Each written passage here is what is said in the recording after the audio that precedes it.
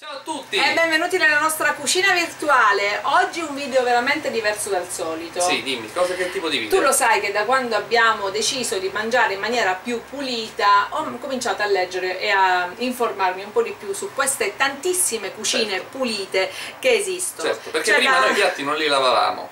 che c'entra per cucine pulite si intende una eh, per, per modi di cucinare ordinata No, allora. no, proprio pulito, senza grassi, senza, No, senza ehm, schifezzuole. senza schifezze dentro, no? Non troppo processati i cibi. Ah, e allora ok. cosa c'è? Ci sono i vegetariani, ci sono i vegani, ci sono eh, i raw, cioè quelli che mangiano tutto crudo, ci sono quelli che mangiano solo frutta. Ah. Eh, c'è, un mondo e poi ci sono gli igienisti che sono coloro che mangiano naturalmente tutto naturale seguendo una forma pulita di alimentazione che sia anche eticamente pulita.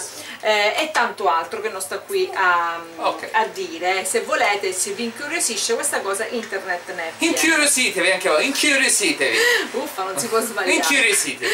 allora, Poi. Leggendo qua e là, io ho focalizzato quello che è il mio problema. Voi sapete che io ho un po' di cellulite sparsa qua e là. E quindi la cosa che- a cui dovrei rinunciare è il sale nella mia alimentazione. Non Però, rinunciare al sale. sì, mi viene difficilissimo rinunciare al sale perché a me piace mangiare sapido. E allora mi sono messa a smanettare e ho trovato la possibilità di creare un sale senza il sale. Come si fa il sale senza sale? E spostiamoci di là e andiamolo a fare. Unico ingrediente per creare il nostro sale alternativo è del sedano. Qui vedete un chilo e mezzo di coste di sedano lavate, asciugate e ripulite della parte della foglia. Dove possono trovare il sedano? Dai, gas.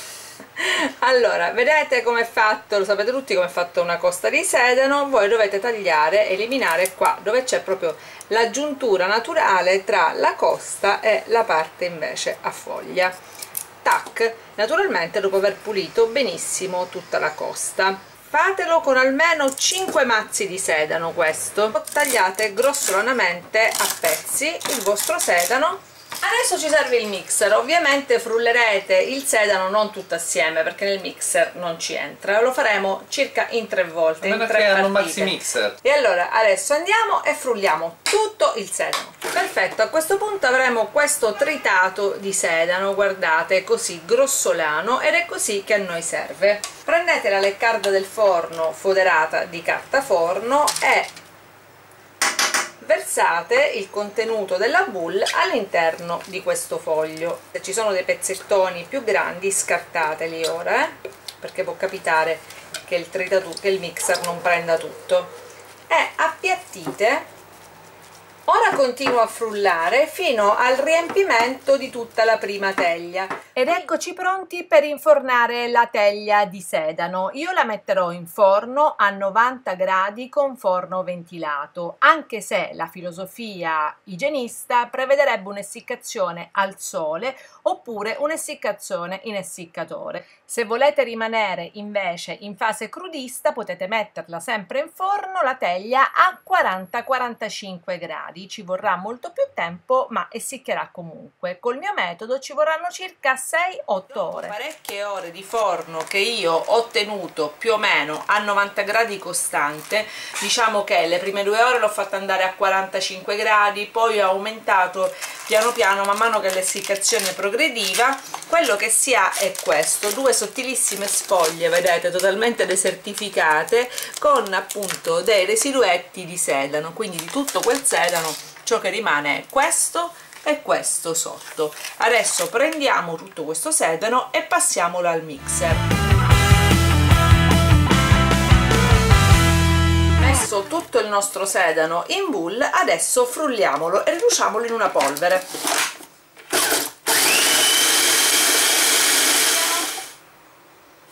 E voilà, vedete la polvere che sale? Il nostro sale di sedano è pronto più lo um, frullerete più sottile sarà potete arrivare anche a questa consistenza io invece lo lascerò anche un pochettino più grossolano vedete così ma per una questione di gusto e anche di regolazione mi piace che abbia più o meno la consistenza del sale per regolarmi sulle quantità se fosse una polvere tipo zucchero a velo magari mi perderei essendo la, la prima volta che lo uso vedete come si potrebbe ridurre? Mm.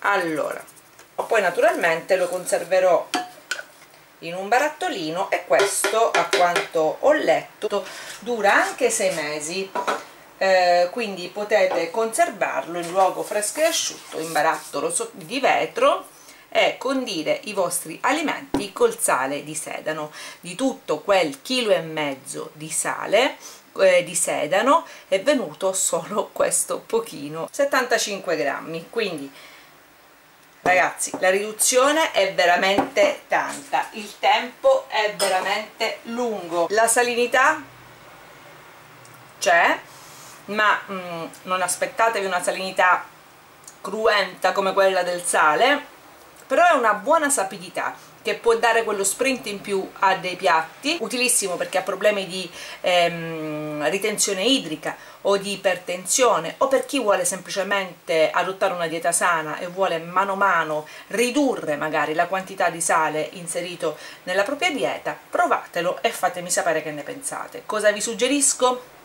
Io vi suggerisco di cuocerlo a 90 gradi o di essiccarlo al sole. Quindi buon sale a tutti andiamo di là. Che ho ancora qualcosa da dire